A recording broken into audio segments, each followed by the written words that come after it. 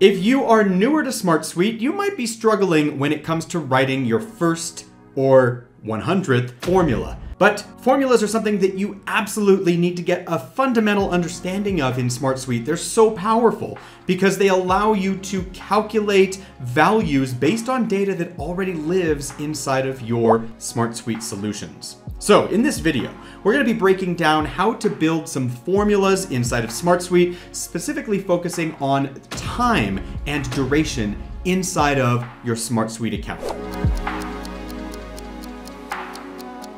So if that's of interest, stick around and let's get into it. Welcome back to the channel. If you're new here, my name is Gareth. I am the owner here at Gap Consulting, and it's our mission to help you get organized and automated with no code tools. Now, no code tools can help you save up to 20 hours of your time every week if you are leveraging things like automation inside of your databases that we want to help you build. Now, if you've never used automation before, or if you are a seasoned veteran, you will get a lot of value from our free automation training. We make that training available for you. You can sign up at garethpronovost.com slash webinar dash registration and go through that training and master those key fundamentals of automation so that you can start doing more and working less. Now that being said, let's go ahead and hop into the heart of this video. We are gonna be sharing with you how to go step by step inside of SmartSuite to put together some formulas Go ahead and open up your SmartSuite account. If you don't already have SmartSuite set up, then please consider using our link, which I will include below, and get set up on a free trial of your own. Let's go ahead and hop on into my screen and I'll show you what our setup looks like. We have two applications. I have projects up here at the project level, we just have a name for the project. This links to tasks. I really like linking out to a secondary application and calling it tasks because SmartSuite is incredibly powerful as a task management software. It's really good for keeping things on task because when you get assigned a task and a due date is plopped in, let's go ahead and assign one here. Once that occurs, this task now will show up inside of a space in SmartSuite called My Work. Now, My Work is found up here at the top. If we scroll on over to the third little icon here, the checkbox, we click on My Work, it's going to show us all of the things that have been assigned to us across all of our different applications. So it doesn't matter how many different places you're working inside a SmartSuite, this particular spot right here, these are the tasks that are assigned to me inside of the solution we're looking at here. But all of the other stuff that I'm working on live inside of my SmartSuite account, it's all here in my work. So I absolutely love the My Work section, and that's why we're focusing on this particular resource here in our video today, because I've got my tasks, and of course we're doing a lot of project management in SmartSuite. And over here, I've got this great field that SmartSuite's created for us called duration. So really quickly, let's jump into the duration field. This is a field type that we can select how many different amounts of something we want to display. And we have the option of displaying days, hours, minutes, and seconds. We can also, of course, require an entry in this field. I have left this blank for now, but you'll see that in our example, I have hours and minutes selected. And from here, you can see that I'm saying, well, this particular task is assigned a certain duration. So here, two hours, 30 minutes two hours, 30 minutes. And heck, let's put one in here, one hour for this one. 1H, there we go. I leave the field and it automatically knows that is a one hour duration task. So now that I have this set up, that is fantastic. But what if I want to see at a higher level how much total time is going to be invested into a particular project? Now remember, tasks here are linked to my project. So these three tasks are all assigned to project one. And you'll also see that I am the person that these three tasks are assigned to. So if we flip into our project level, maybe what I want is some sort of formula that's gonna add up all of the duration times for the related tasks to a project, and I wanna know what the sum of that is. So in this case, this is two and a half hours, task two is two and a half hours, task three is one hour, so I would expect an output of six hours. 2.5, 2.5, and 1 is 6 hours total. How can I get that inside of my projects? Well, the first thing we need to understand is building a formula from scratch. So we add a new field, and here we are going to find the formula field type. Now, when we first start a formula, it's going to show us the friendly, the user-friendly uh, interface here, which is just, hey, select a field and select another field, and then you can do some sort of math. Really basic math, but this is great if you're just starting out in formulas. You can add two things together, multiply two things together, you get the idea. Really basic math between two fields. Now, no fields are showing up here because I actually don't have any other fields inside of my project application that allow for math. Notice that in order for any math to be done, I would have to have some sort of numeric value fields, and I don't have any here. In my project's application, I've got this link to tasks, I've got a title, and I have some other fields, sure, the default fields, the comments, the priority, the assigned to, but none of these are numeric. So that's why when I just go about starting here with a brand new formula, I don't actually have access to any fields. But if I had numeric value fields here, I could just set up a really simple formula.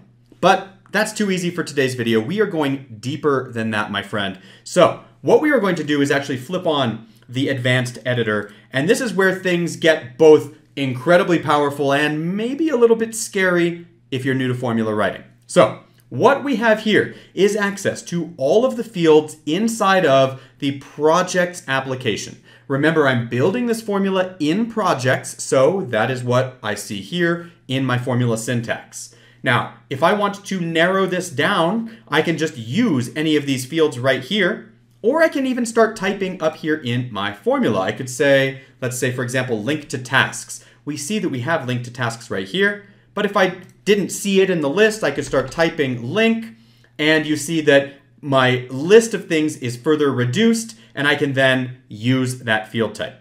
But I'm getting ahead of myself.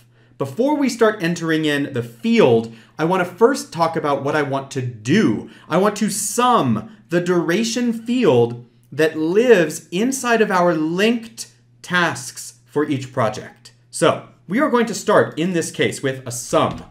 The sum is a function. And I only know this because I've written numerous formulas inside of SmartSuite already. However, if you are new, check out all of the documentation SmartSuite has made available. There are plenty of different places you can go to learn how to use formulas inside of SmartSuite, including links and pages dedicated to talking about all the different formula types they have available. But here it is, my sum function. I already know that's what I'm looking for. So in order to implement it, here all I have to do is click use.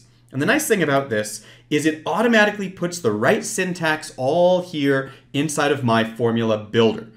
Now what I want to do is sum the duration field that lives in the linked tasks. So in order to get my duration field, your first instinct might be, well, let me bring it into my project application. Let me reach through and grab that duration field and bring it in here. But we don't need to do that in SmartSuite. Their formulas are so advanced that we don't need to first bring that value into the project's application.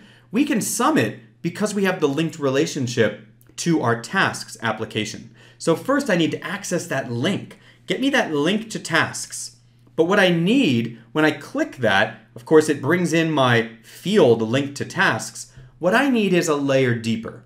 I need a field that's inside of link to tasks. So in order to access a field through a linked relationship, I hit period after already finding that linked relationship.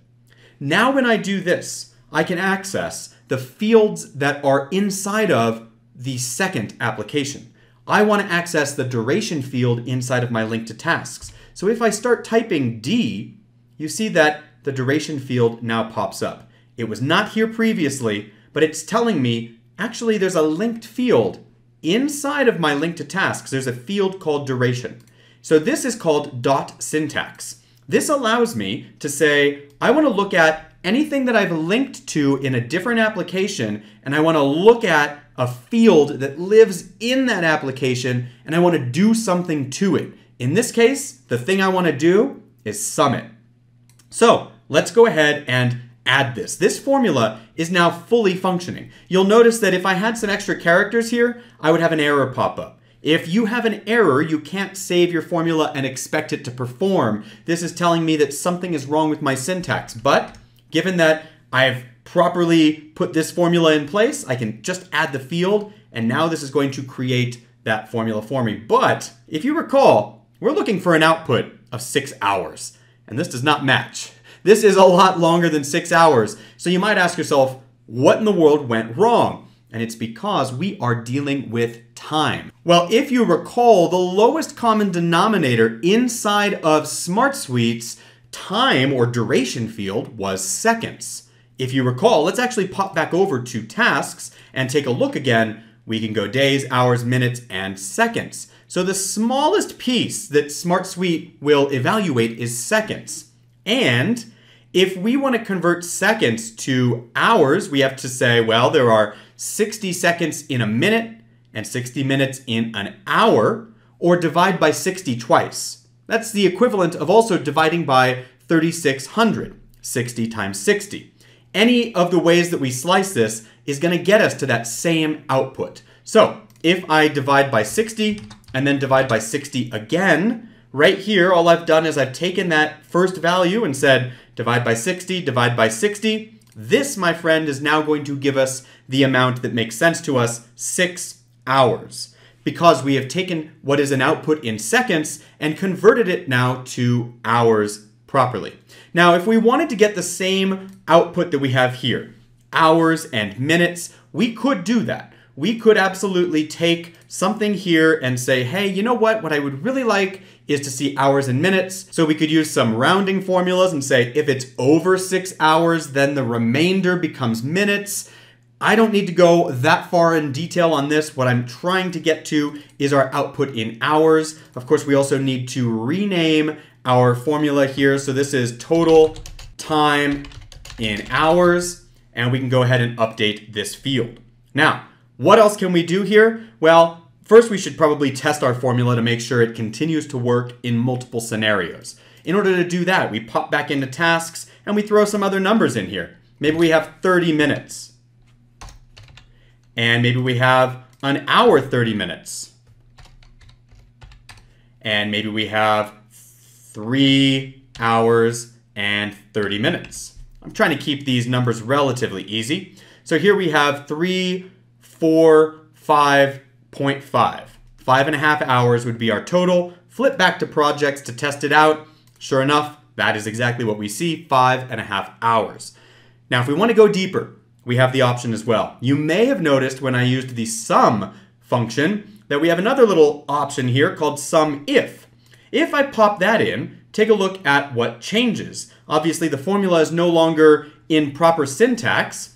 And if we ever have questions whenever we're building formulas in SmartSuite, well, they've already put together quite a handy little descriptor down here for us. So we see that the syntax is different for SUMIF. SUMIF starts with a criteria.